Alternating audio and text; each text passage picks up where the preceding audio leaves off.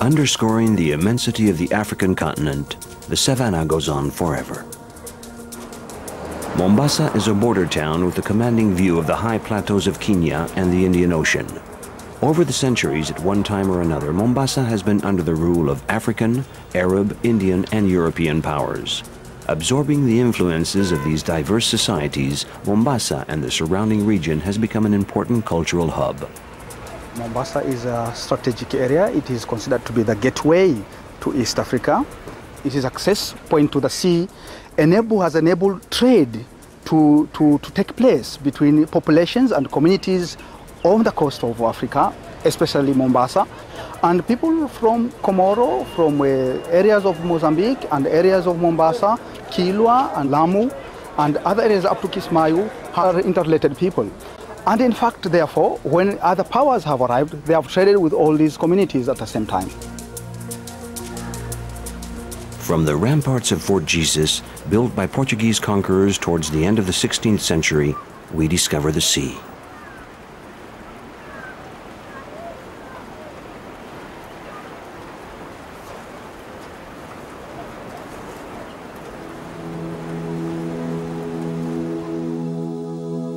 Leaving Mombasa, we set a course for the island of Zanzibar in Tanzania, and then on to Mayotte in the Comores archipelago. We'll parallel the north coast of Madagascar, make a call at Nosy Be, then on to Diego Suarez. Finally, we head for the Isle of Maurice, where we'll begin our exploration of the islands of the Indian Ocean.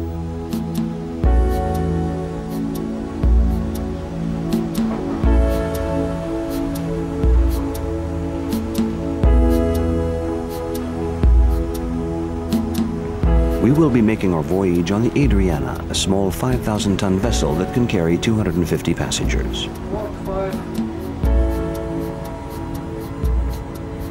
The captain is well experienced. He has long piloted his ship in the icy waters between Norway and Spitsbergen and views this new adventure with interest and curiosity, especially as we approach Zanzibar.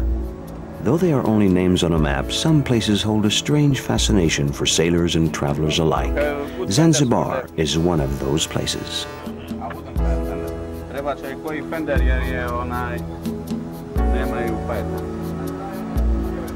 Nostromo, čim budeš moć, samo čekaj da ti ne pada umore.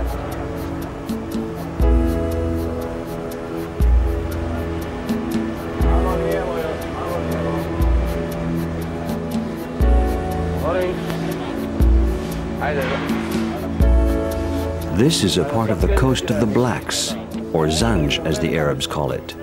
The name Zanzibar was derived from it. This island has played a pivotal role in the history of the Indian Ocean in East Africa.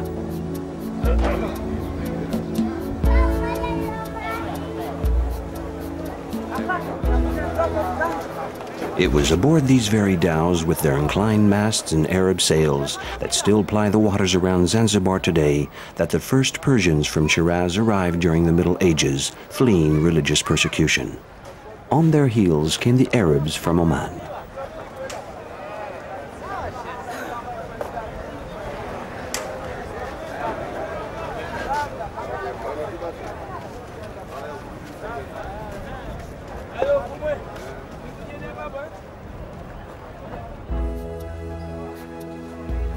Under Portuguese ownership for some time, this increasingly popular trading post eventually passed into Oman control in 1698. Quietly going its own way, far removed from the scrutiny of the center of power, Zanzibar's destiny suddenly changed early in the 19th century when Said Said assumed power. Fascinated with Zanzibar, the new Imam from Muscat had a private palace built in the island and then, in 1840, decided to transfer the capital of his empire there.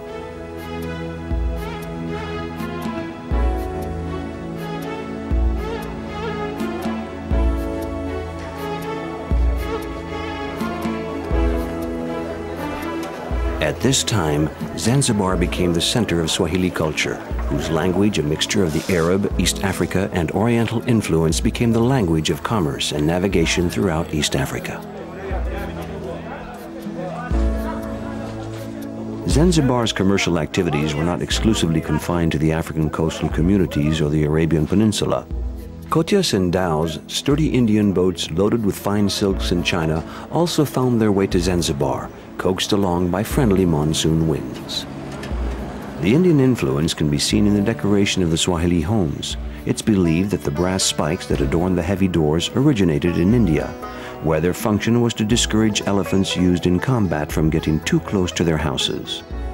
The subtle intertwining of plant designs with verses from the Quran that decorate the entranceways are virtual works of art.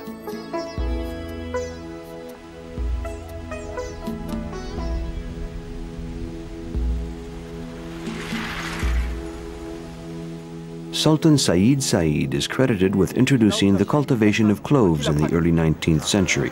Decreeing that one clove must be planted for each coconut palm, he turned Zanzibar into an island of spices. Hii inakuwa ni 1500.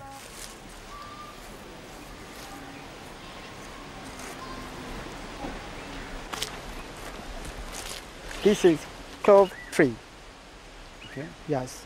Now, have a look at the top. He have a clove seed. Okay. Before the clove seed, if you need to harvest, should you climb it?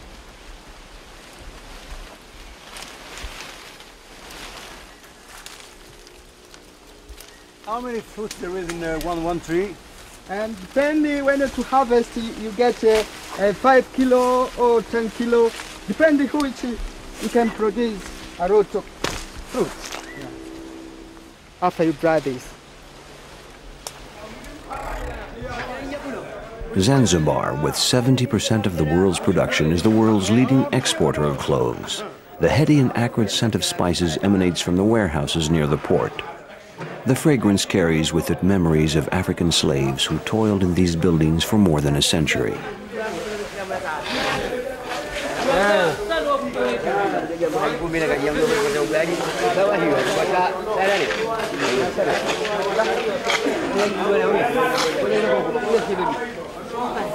Bawa kopi hari dalam berapa?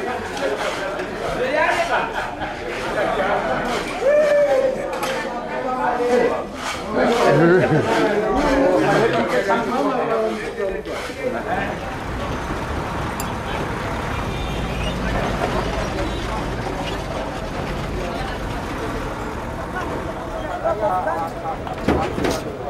Dozens of dhows in the port of Zanzibar appear to be quietly but somehow also restlessly laying in their cargoes, their shorelines inextricably tangled. In fact, nothing seems to have changed in the hundreds of years these same boats have been carrying cargo up and down the African coast.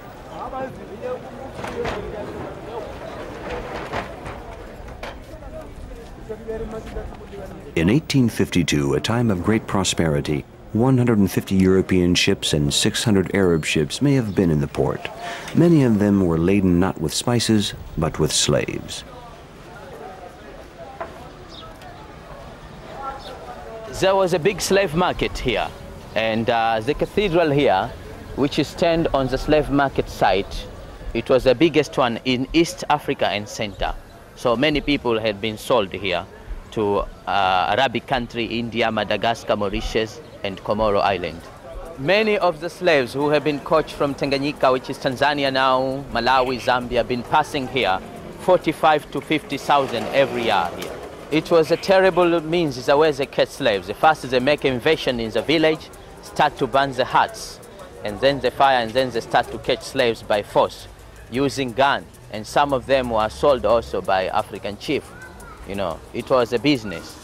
Indian financing the project, European come to buy. Everyone was responsible. The slaves were kept in the slave chamber down that house there, and they were kept in a terrible condition that many of them die because of suffocation and starvation. They were kept in a terrible condition.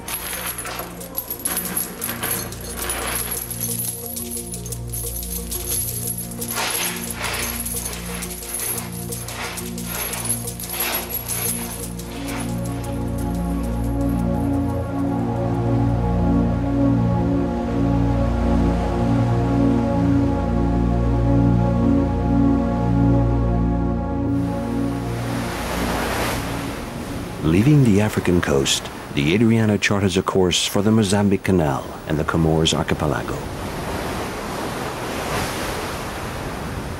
The ship is soon rocked by violent swells caused by a large cyclonic disturbance several hundred miles away.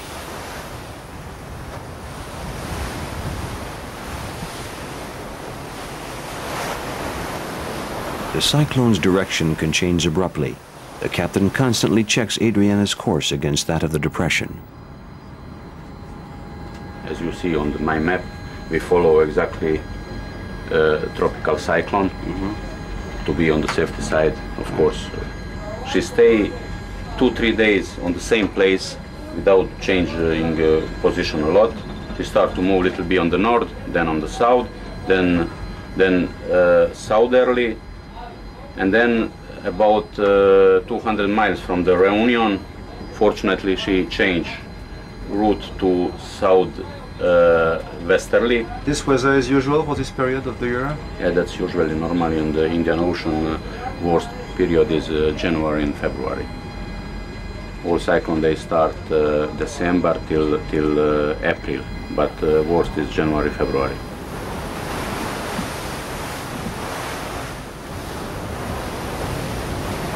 Even as we approach Moroni, the capital of the Grand Comore, we're still experiencing strong swells.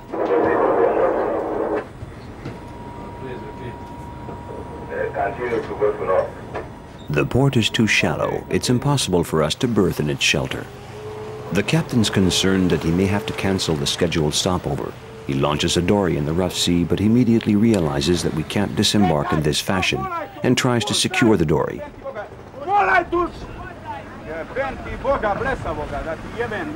But it's too late. She's already broken free of her mooring line and is drifting away from the ship.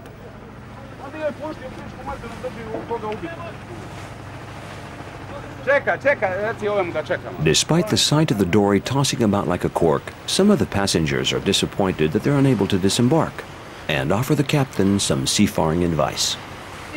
Why is he putting the ship crosswise to the waves like that? As soon as we drop anchor, the ship will face into the wind and won't stay in this position.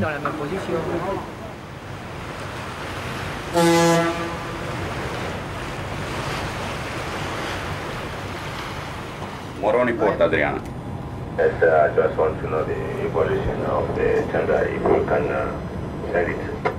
No, I, I send my tenders and I try to put tenders alongside uh, my ship to see if it will be possible to disembark passenger. It is impossible, it's very dangerous. In consideration for the safety of his passengers, the captain decides to leave the Grand Comore and sail to harbor on the island of Mayotte, where he'll have no trouble finding a berth.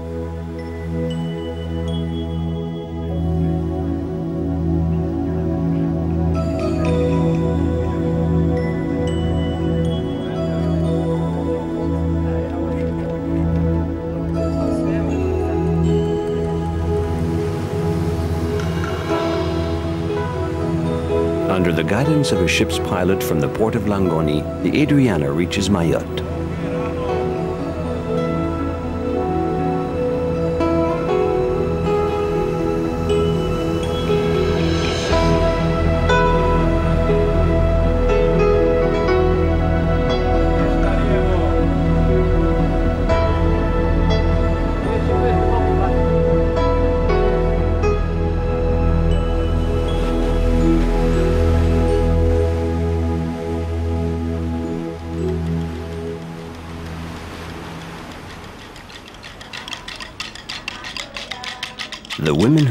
On the quay at Longoni, with their doleful, repetitive singing accompanied by percussion, and their traditional Kiromani dress, a large sari-like wrap that covers the body from head to toe, is evidence of the African heritage of the Comores.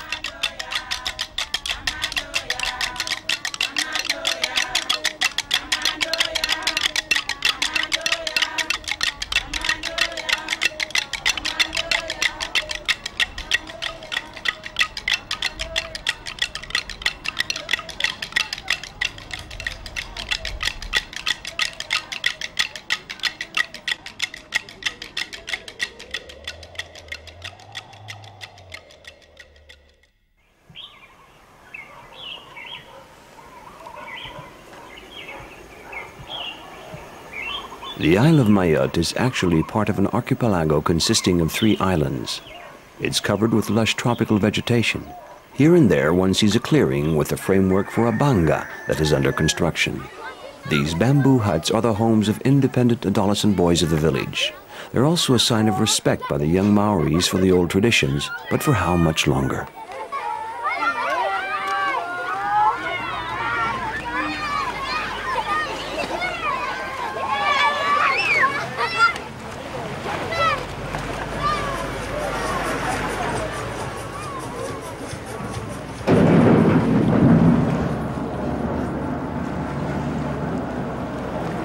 Barge that shuttles between the big and the small islands every half hour delivers an ill-assorted and motley group in Mamoudzou, the largest town on the main island.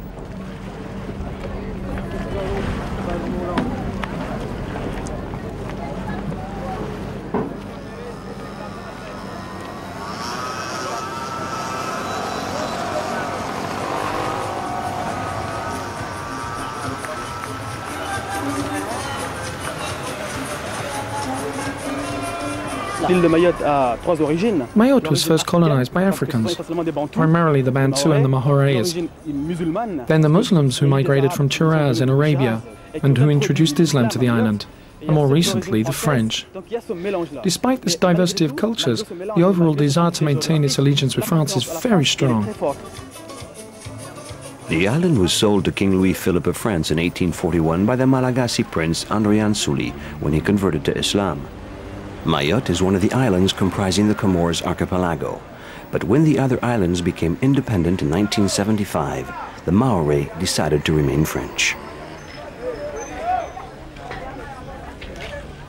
However, even though the statues declare it to be a French possession, its culture and traditions remain Comorian.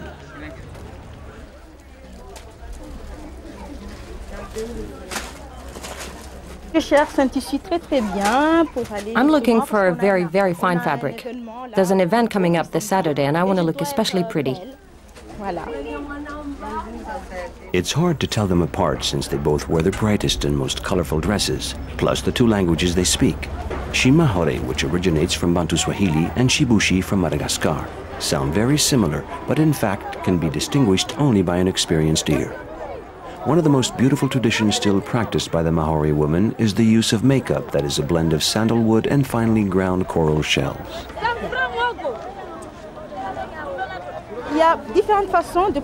There are several ways they use this makeup. There's the makeup that is used when going to the market. It's applied in a thick layer to protect the skin from the hot sun. Then there's the makeup to use at home. It's put on thinly to make the woman more beautiful and more attractive to her husband.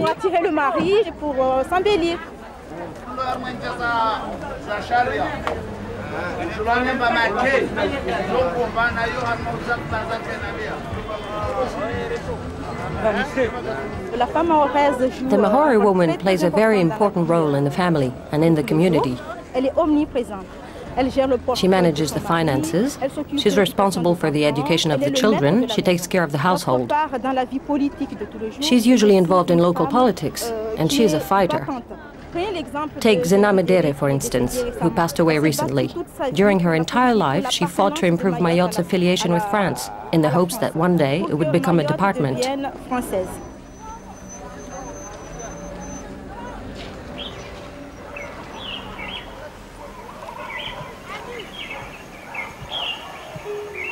While the barge plies the sea between the two islands, we leave Mayotte and head for Madagascar.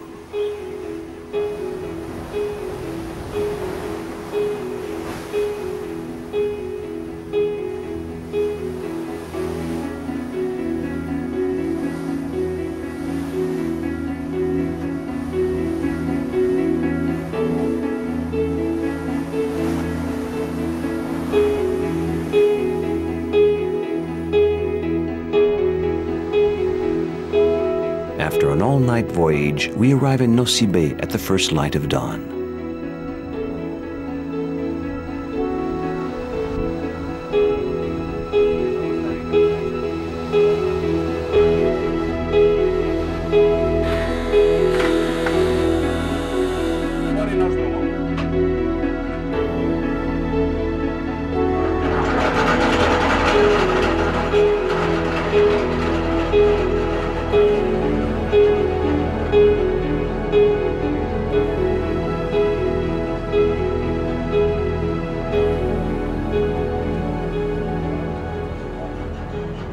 When ship is on the anchorage, I stay on board for security reason. Uh, you never disembark?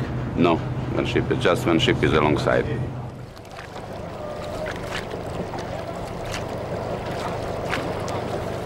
Anchored a few cable lengths offshore, the Adriana is soon surrounded by a flotilla of dugout canoes loaded with tropical fruits and seashells for sale to the passengers or for barter with the crew. Despite the distance between the merchants and their prospective customers, everyone enjoys this extemporaneous floating market.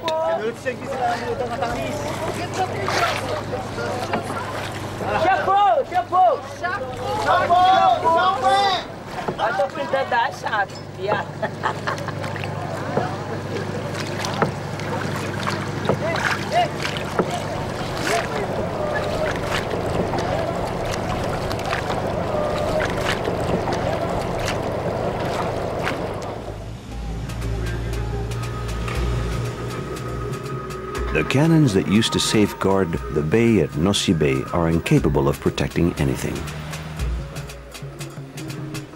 The streets of Andoany, the capital of Nosy Be, are lined with homes with pillars, and even though a few houses may be in ruin, for the most part they have preserved their decor and elegance. Andoany remains a veritable museum dedicated to the glory of the French colonial administration during the 1800s.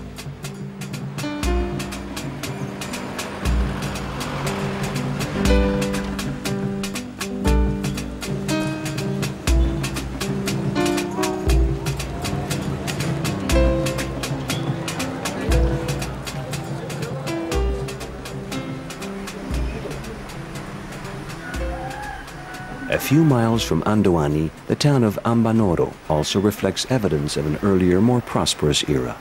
The Islamic Indians, the Antalaotras, known as the people of the sea, settled in Ambanoro in the 17th century. They traded with the Comores, Africa, Arabia, and of course India. When the Suez Canal opened in 1869, and with faster steamers shortening travel times, the dhows had to now be satisfied with local trade. Finally, the Antalaotras abandoned Nosy Be, surrendering Ambanoro to nature and to the Sakalav seafarers. We're Sakalaves. I'm a Sakalave too. Sakalave and Muslim. I was born right here in the village of Ambanoro, or as it's now called, Marodoka. Our grandfather, Amada's father, the Prince of Bay, has the same name as I do. I inherited the name from him, Abderman. Everyone here shows me respect. Ambanoro's great mosque was abandoned and left to the silence of the forest. Soon it all but disappeared into a maze of banyan roots and giant flamboyants that stand vigil over the ruins.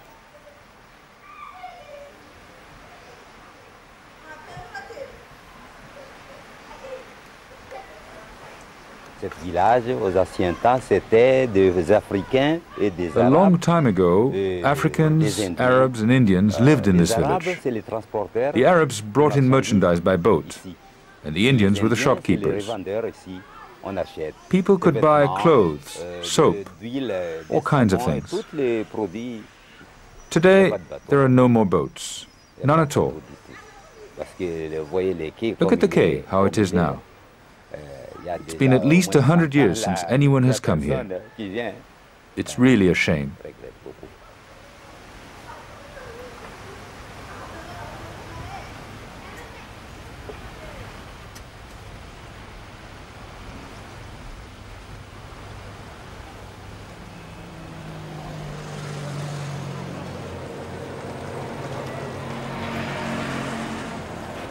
Back from Andoany, we take a break in front of the market and watch in admiration the elegance and charm of the Sakalav women.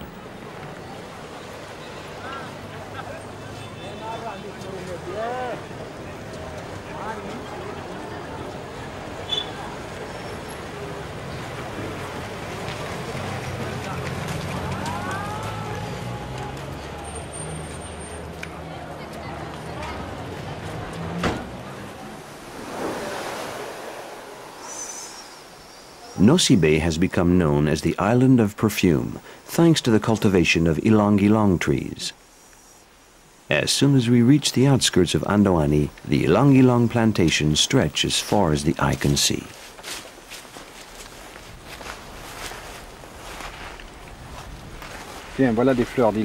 Look at these ylang ylang flowers. They're still not completely dried out, and it's almost time to harvest them. The trees have been pruned so that the branches are low to the ground. That way we don't need a ladder to harvest the flowers.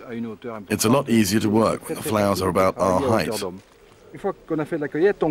Once collected, the flowers are compressed into 100 kilo bales and thrown into vats of boiling water. The steam is directed through a pipe in the shape of a swan's neck into a still, where the essence and a little of the steam is distilled off and the condensate collected in a cold water condenser. The essence water mixture is packaged in these little bottles and it will be used to manufacture the world's finest perfumes.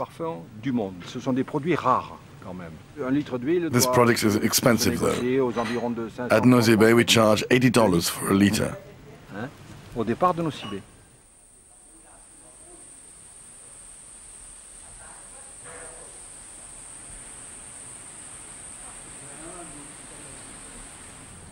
Longing the primal forest on the Lokobe Peninsula, it's hard to believe that only in the short space of a few years, Nosy Be has become a fashionable destination for wealthy travelers from around the globe. But fortunately, some parts of the coastline have so far been spared this influx of tourism. Situated on a beach lined with tall coconut palms, life in the few huts of the little hamlet of Ampasipohy languishes at its own pace.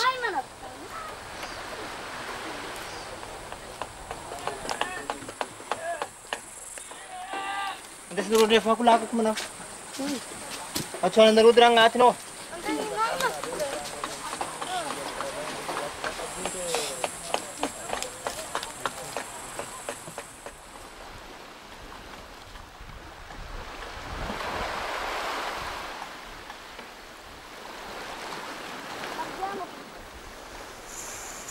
We are barely 100 yards from the riverbank, and the forest is already dense.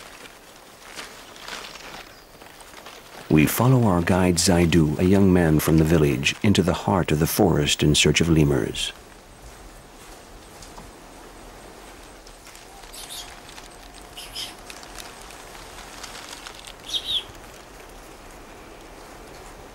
About 30 species of these tree-dwelling primates are known to exist in Madagascar, and some of them are here in the Lokobe forest.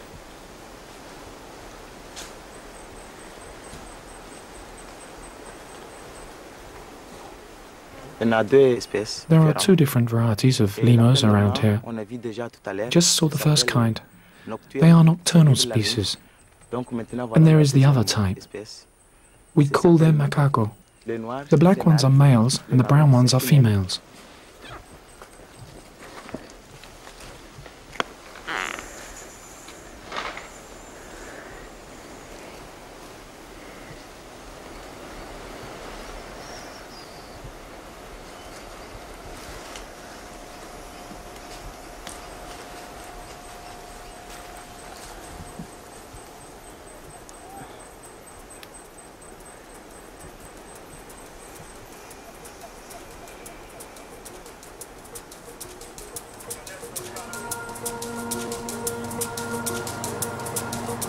Exploration of Nosy Be is drawing to an end.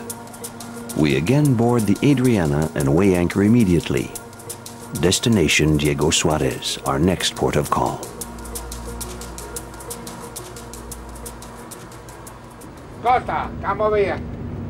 Carlo, the maître d', holds his daily meeting with his staff before opening for dinner. As always, the main item on the agenda is that evening's menu. I make a mistake. Good evening, sir. Good evening. Cocktail de crevette, the shrimp cocktail, veluteo champignoni, the mushroom creme soup, lasagne duchev, the Italian pasta. I still miss Venice. It's like my family. I love the marine life. I'm a sailor. It's my life. I couldn't work on land now. After spending about a month on land, I start looking at my watch and thinking, right now the guys are in the restaurant, preparing the tables, the plates, tablecloths, napkins. I don't mention it to my wife because I don't want her to think that I'm not happy at home. I am happy at home with her. But the ship is where my heart is. Va Vous avez bien dîné Content Merci. Très important. C'est très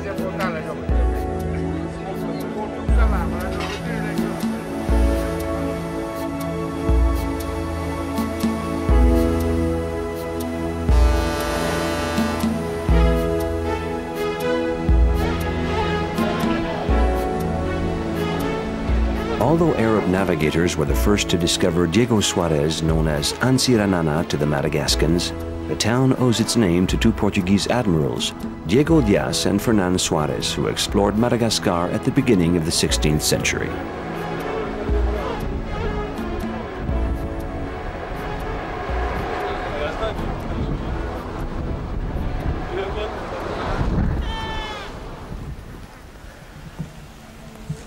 Diego Suarez is situated at the end of a beautiful 100-mile-long bay besides a sugarloaf-shaped mountain that was used as a landmark by 18th century pirates. The town didn't gain importance, though, until 1888 when the French captured the island and built a garrison there. A distinctive feature of the town, called Diego by its admirers, is that all its residents are foreigners. Les premiers venus the Arabs were the first to settle here, followed shortly afterward by the pirates, who left us lots of children. Then came the Portuguese, then the people from the south, the Antemoros, who are skilled at making knickknacks, decided to return. We have the Betsimisaks, who are mostly shopkeepers. The Muslim Society has supplied us with the Khojas, who specialize in big business. As well, there are the Bohras, who prefer the hardware business. And of course, we have the Chinese, a few Hakka, about 40 families. We have a real cross-section of the entire world right here in Diego.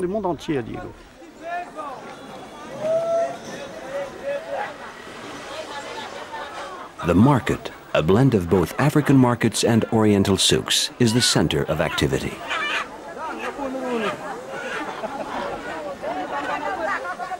Naturally, fruit, vegetables, and spices are found in abundance. But the market is also a great place to stroll and socialize. Everyone is always in a great mood.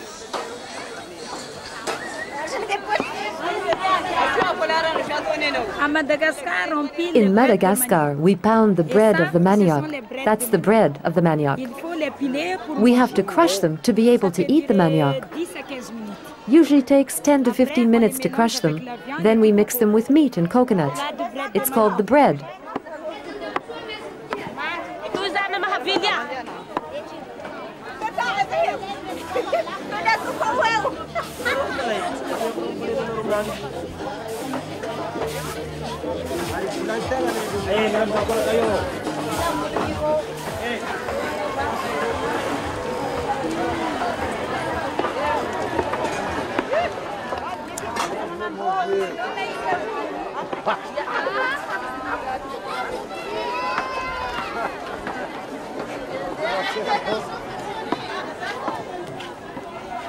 Madagascar replaced the Caribbean as the home base of the treasure pirates. There were as many as 2,000 to 3,000 pirates here, at least 300 ships. They were everywhere on the island. Libertalia, people spoke of it as if it were a fairy tale, something unattainable, but it was not all fiction. These pirates decided to go beyond simple piracy. They intended to fly a white flag proclaiming for God and liberty, and they were determined to create something, a republic for us to live under, where blacks, whites, yellows, and the slaves would all be free. They created a utopian republic that lasted for 15 years. Now that's Libertalia. Fact or fantasy, Libertalia is no more, and little remains today of its once famous Hôtel de la Marine. A wealthy gold miner built the hotel in the early 1900s, styled after a neo-Mauresque palace but it's almost a complete ruin today, neglected by the town and eaten away by the passage of time. Diego is a town that was created in 1888 for the benefit of the French military. The agent who was in charge of the trade routes was a military man, and he ordered that because of the great fires on the island, people could no longer use wood for house constructions. All the houses now had to be made from solid stone. Two types of buildings were permitted, the governor's house and houses featuring columns and balusters, which are still standing today. One of the characteristic features of Diego is the layout of the town, designed by the military with classic straight streets.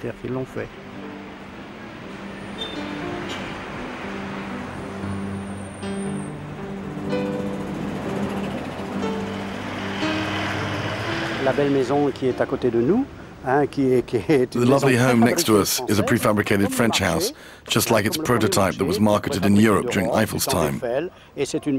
Some were erected in Guinea and elsewhere, but today only two such houses remain in Madagascar, here in Diego.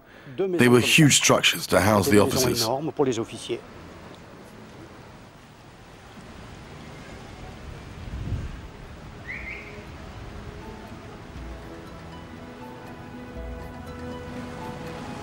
Once again, it's time to set sail.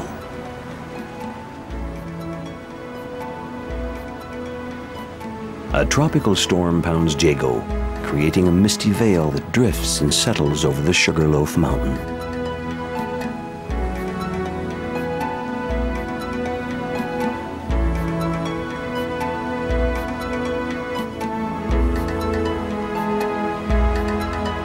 After having passed the point of land that signals the entrance to the bay, we now head southward under a menacing sky towards Mauritius, our next and final stop.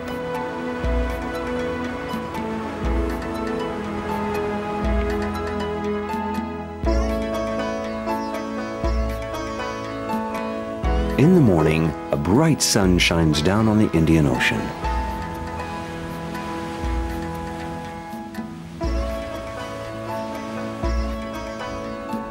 While the passengers are making the most of their last day at sea, the crew is constantly inspecting and maintaining the ship's vital organs.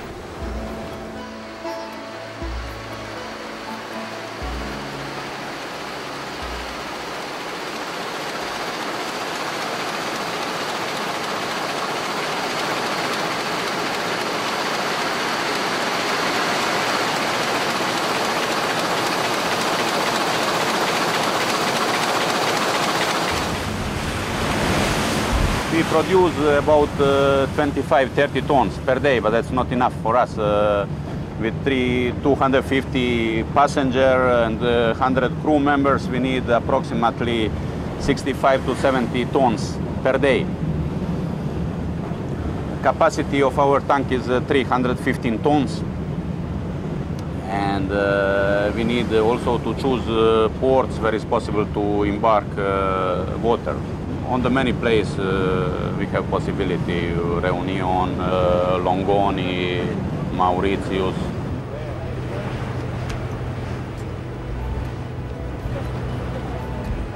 A pilot boat from Port Louis guides our approach to the Mauritian coastline.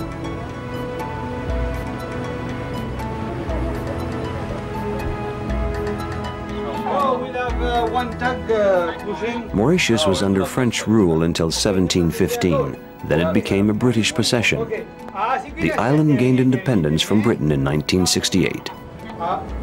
Because anyhow he cannot... stand by Okay, you can do the maneuver? Yes, yes. Okay, I'm just here drink coffee. Very good. Uh, Although at first glance the island appears to enjoy a laid-back lifestyle, the island's economy, fueled by the trade through Port Louis, is booming. In the 70s, the poor lured the textile trade when rulers had declared the region a free zone.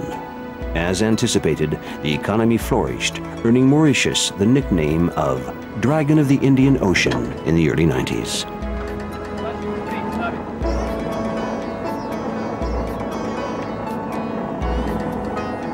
We've swapped the peace and tranquility of the Adriana for the hustle and bustle of the capital. Here, Mauritians of European, Indian, and Chinese descent live together in harmony and speak a common tongue, Creole.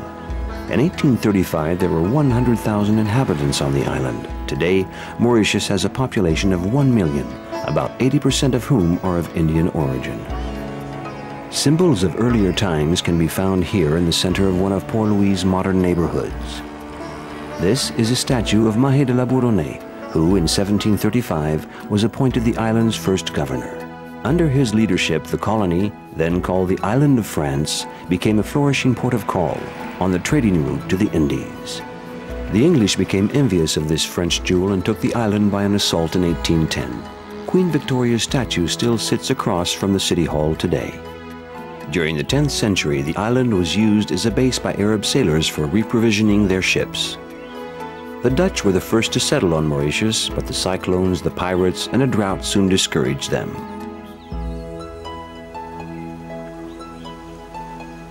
At one time, a forest covered all of Mauritius, but today only about 5% of the island is forested.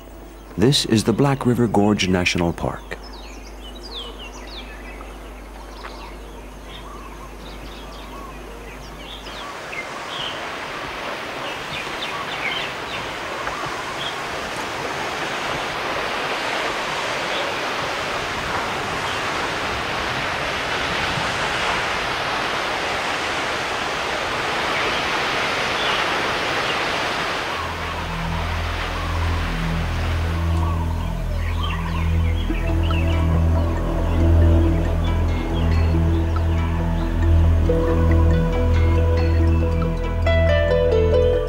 13th century, Marco Polo evokes in his book China and its exotic products. For many years, the favored commercial trade routes had been overland between Asia and Europe. It wasn't until the 16th century that a sea route around the Cape of Good Hope was charted by Vasco da Gama for transporting spices. Pierre Poivre, a French botanist and administrator for Louis XV, is credited with introducing spices to the island of Maurice. In 1638, the first settlers arrived on the island of Mauritius, and from then until 1710, what we call a Dutch trading post existed here. But the Dutch were only here to exploit the ebony wood in the forests. It was the French who came later who were the true colonizers, founders, I really like that word, founders of the Isle of Mauritius, and that was since 1721. The garden commemorates, among other things, the Mahé of the Bourdonnais, who was a great governor and who's idolized here as the true founder of Mauritius. When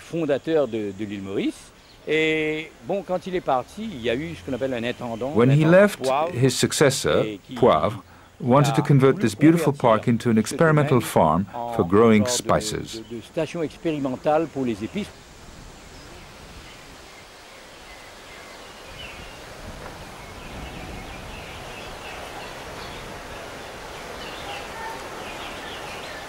The spice trade was so lucrative that it stirred up a frenzy of conquest on the maritime routes.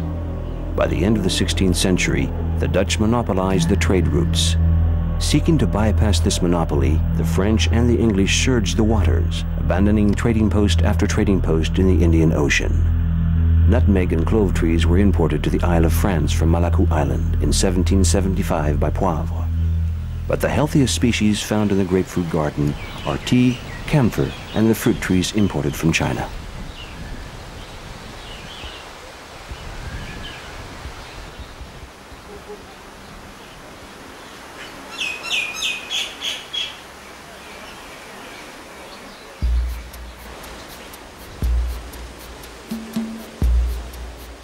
The sugarcane plantations were first established by the French and later enlarged by the English. The crop soon became the main source of income for the island. However, when slavery was abolished, the plantation owners were forced to seek a new source for labor. They brought in about 450,000 Indians from Madras, Bombay, and Calcutta to work on the plantations.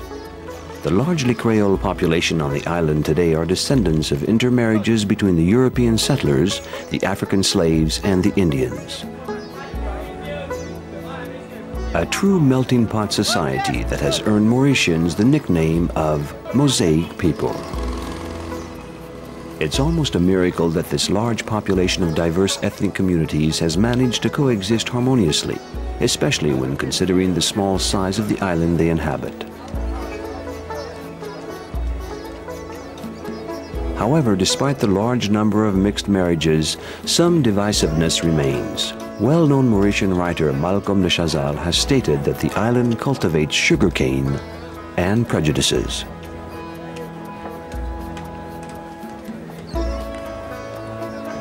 With nearly 600 people per square kilometer, Mauritius is one of the most densely populated areas on Earth. Under these conditions, it's hard to escape the concrete jungle, the insects, or the numerous fires that destroy the old dwellings, the last survivors of an earlier era. The streets of Chinatown are normally a beehive of activity, but today they're unusually quiet. Everyone is preparing for the Chinese New Year festivities.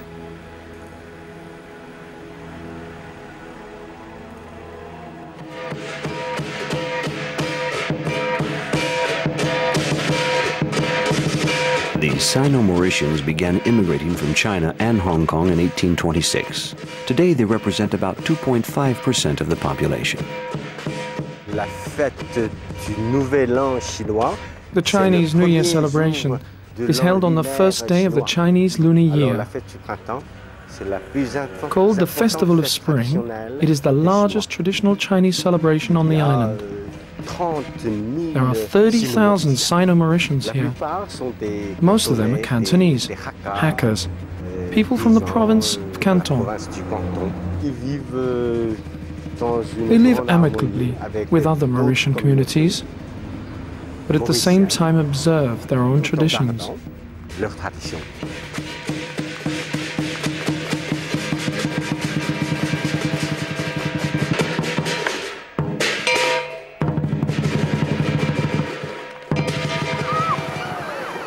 At the end of the week, the Mauritians head for the beach, each and every community.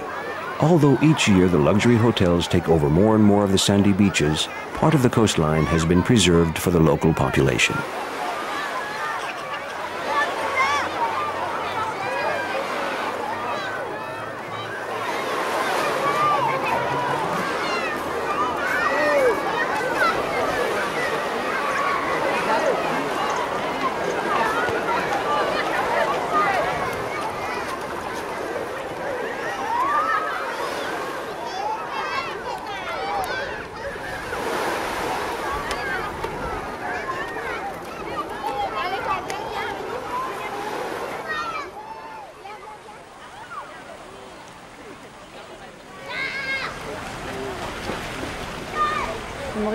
The people of Mauritius are very proud of their island. They don't look upon tourism as an invasion.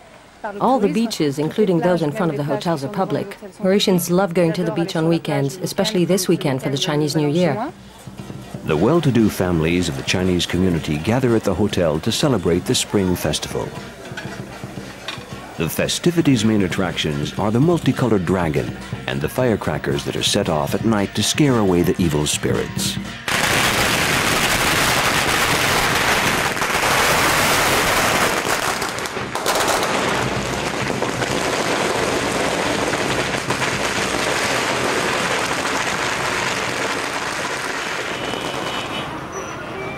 It's day in a town on the eastern side of the island.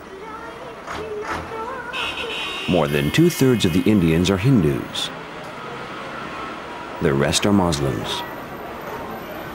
Besides the national language, Creole, many of them speak the language of their ancestors, Urdu, Hindi, Sanskrit, the Tamil, or even Bhojpuri, which has become so enriched by other languages spoken here that their forefathers probably couldn't understand them.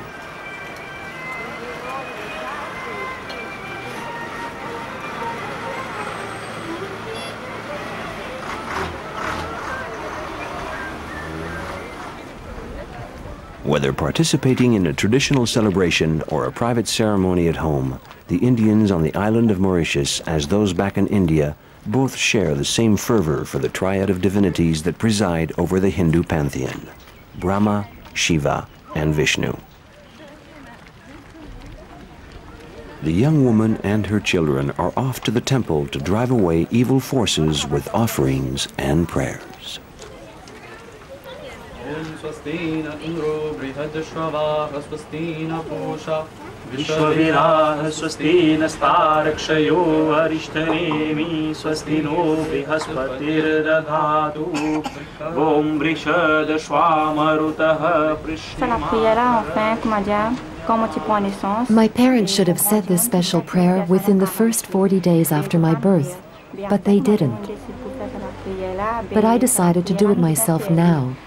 since my children and I have had bad luck.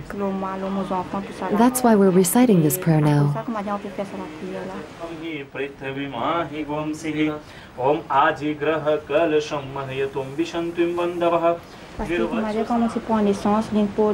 I was born under a bad sign, so I have to say this prayer.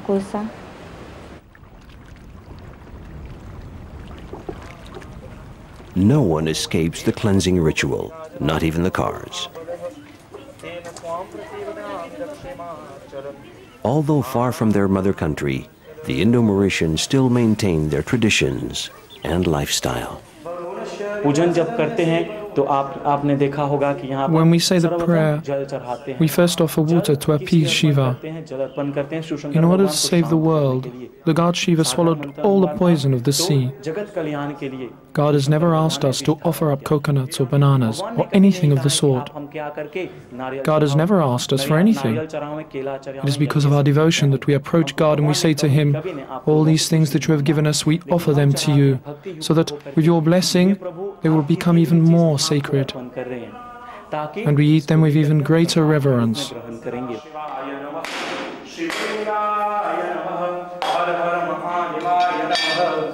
बम बम भोलेनाथाय नमो नमः। ॐ कडले गर्भसम्भूतं कर्पूरं तु प्रदीपितम् आराधिक्यमहं कुर्वे पश्चिमां वरदो भव। शरीरं नमामि, भवं भवामि सदा